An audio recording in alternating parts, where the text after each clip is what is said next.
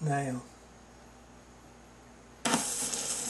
These are the sounds of days that are past. We record a new dimension of history.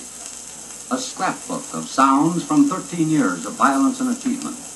Part of the greatest mass adventure man has yet undertaken.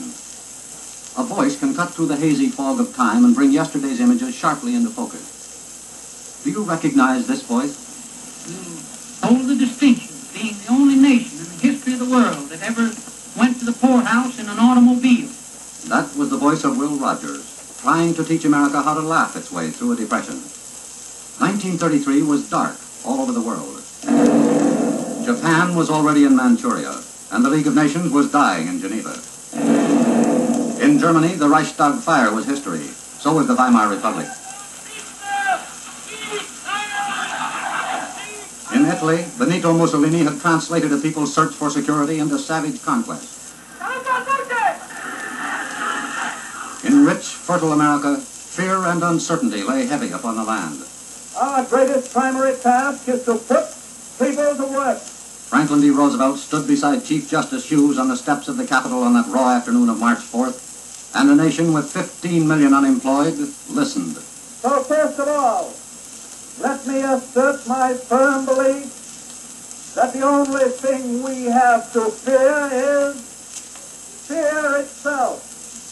Nameless, unreasoning, unjustified terror, which paralyzes needed effort to convert retreat into advance. The first year of the New Deal was vigorous, desperate, experimental, and like a surgeon's most powerful drugs, dangerous. Franklin Roosevelt and his corps of political practitioners, Hopkins, Tugwell, Moley, Wallace, and Hugh Johnson, created the most controversial administration since Lincoln. And yet, either because of it or in spite of it, the patient revived and prospered. Production and employment were up. The soup kitchens and the apple stands disappeared. But a nervous America was still not sufficiently removed from panic to disregard completely the promises and plans of political soothsayers such as Townsend, Coughlin, and Huey Long. The bank accounts show that one 150th part of the people own two-thirds of all the money that's in the bank. The only way by which we can ever bring this country out is to redistribute the wealth. 1936 was the year in which the state of New Jersey electrocuted Bruno Richard Hauptmann for the Lindbergh kidnapping. It was also a presidential election year. But the biggest news story was in London and concerned political intrigue, an empire, a Baltimore beauty, and the King of England.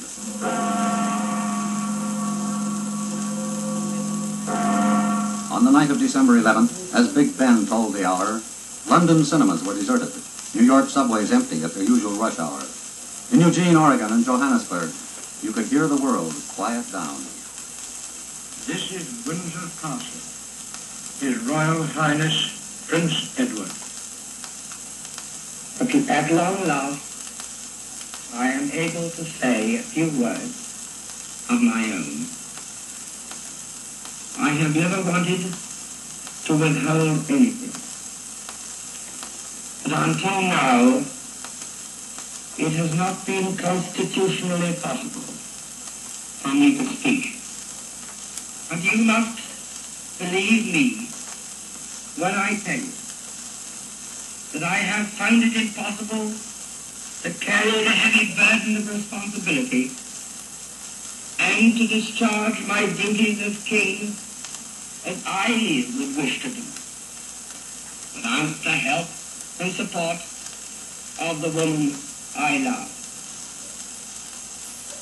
And now we all have the new king. I wish him and you, his people, happiness and prosperity with all my heart. God bless you all. God save the king.